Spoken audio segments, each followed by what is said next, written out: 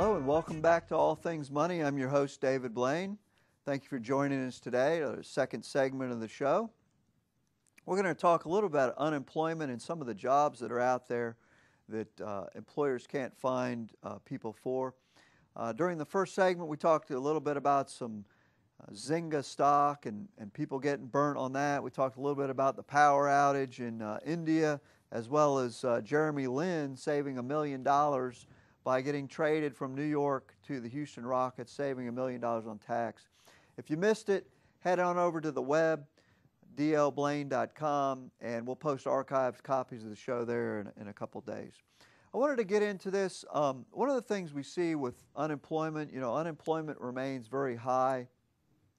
And part of the problem is a mismatch between the skills of the people looking for jobs and the jobs available.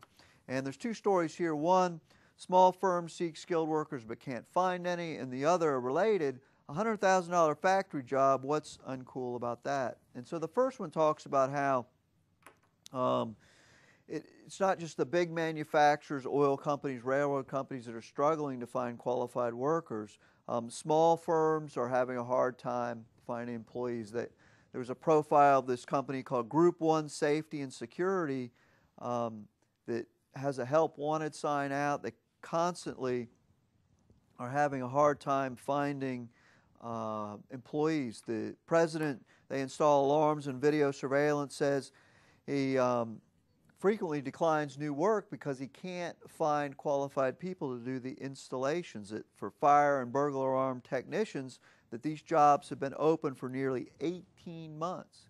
He can't find people with the skills. Um, according to um, a survey, about 31% of 811 small business owners uh, interviewed said they had unfilled job openings in July because they couldn't identify applicants with the right skills or experience.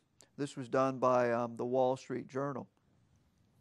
Similarly, about 41% of 154 manufacturing firms answered the survey said they couldn't find applicants with re- relevant experience or skills. Um, 30% of the service businesses and 29% of the retail businesses. So you see this big mismatch between what companies are looking for and the skills that people have, and it's a combination of they're not getting uh, taught in college, they're getting the wrong degrees, or simply, uh, as I've always said, there's nothing wrong with going to a vocational school, two year degree, things like that to learn a skill that employers need. You know, they don't need, uh, you know, everybody doesn't need a degree in communications or um, social work or I don't know, whatever. They need people with very specific skills that they can put to work right away in their company. Um, and part of the thing with unemployment is people get paid unemployment to look for a job that instead of retraining people, a lot of this money I feel like should be spent on retraining people uh, or frankly lowering the tax rates, lowering the corporate tax rates so that they can afford to hire people and train them. And it's especially tricky at small businesses. Let's say you have uh, five employees and you know, you have one vacancy. Well, that's 20% of your workforce. I mean, hiring the wrong person can be devastating to a small business like that. And so they tend to look for that perfect person with the skills. They don't have a lot of time and money to train that person. And so instead of paying people to sit at home and file for unemployment, in my opinion, they should cut people's taxes, let the employers have more money, maybe some tax breaks, something like that, to e- help educate and train employees that, that, could, that could benefit from, from a job.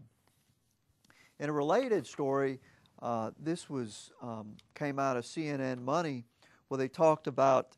Um, they said that young people think that factory jobs are uncool. And you know, factory jobs once considered you know backbreaking, labor, low paying, are really high tech and high salary today. But a lot of these factory owners say that young people don't get it. Um, this one owner owns Chesapeake Machine Company in Baltimore. He says, When I was in the late 70s, kids were dying to get in manufacturing. There are plenty of factory jobs. There are jobs for the taking today, but kids don't want them. In fact, I had a roommate at West Point whose brother uh, lived in Reading, Pennsylvania. and there was a big uh, steel plant there, Dana Corporation, and they they made um, parts for uh, cars and things like that. And he was like 22 years old. He worked at this factory, and he he he made a decent living. He he owned a house. You know, he had a car. He had no debt. Now he didn't go to college, but he had a decent living and had a had a decent job, and it was it was actually a good a good thing for him to do.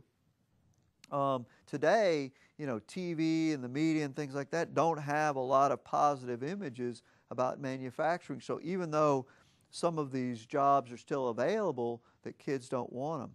Um, an aspiring machinist, according to this uh, study, uh, can start training at 18, do a one or two year manufacturing apprentice, and in five years could be making more than 50,000. In 10 years, it could double to $100,000. So if you do the math, that turns out to be a 28 year old kid. Now, there's no college degree, but there's nothing wrong with that. How many 28 year olds with a college degree in English literature or something, do you know, are making $100,000? Not a lot. Um, you know, now the days of maybe $75, $100 an hour workers are, are much more difficult to find, but certainly, you know, $30 an hour, $40 an hour is still very realistic. And uh, if we would encourage people to continue to go into these fields and not lock everyone into a four-year degree, I think we would see that some of these more jobs would, would become filled. So anyway, two good stories about unemployment. There are jobs out there. Uh, it's just the skills of the workers aren't matching uh, what uh, we need in this modern economy. Well, that brings us to our second break. When we come back, we'll continue uh, with all things money.